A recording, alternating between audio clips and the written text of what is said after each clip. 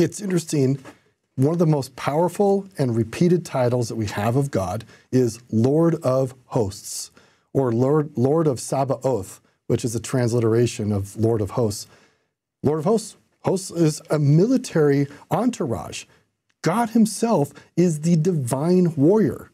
He's the one who will fight all your battles. The people are saying, no thanks, we want to do it on our own.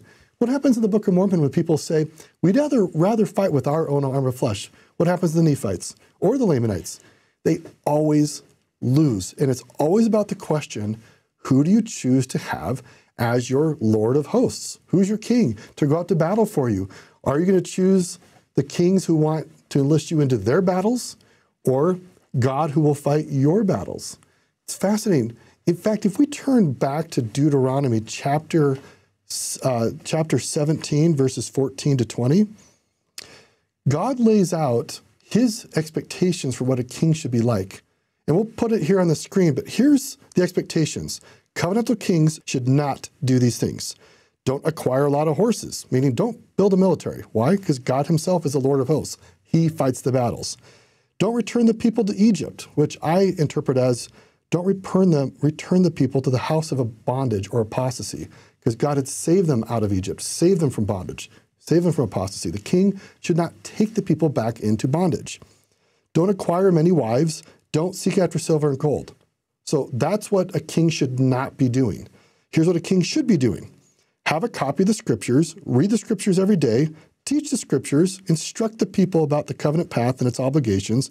Do not lift yourself up above your brethren.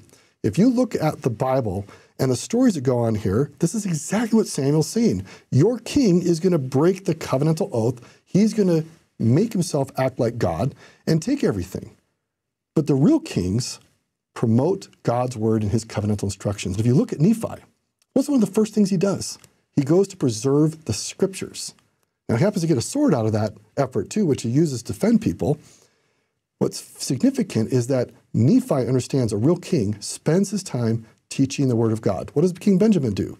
He teaches people the Word of God. What does King Mosiah do?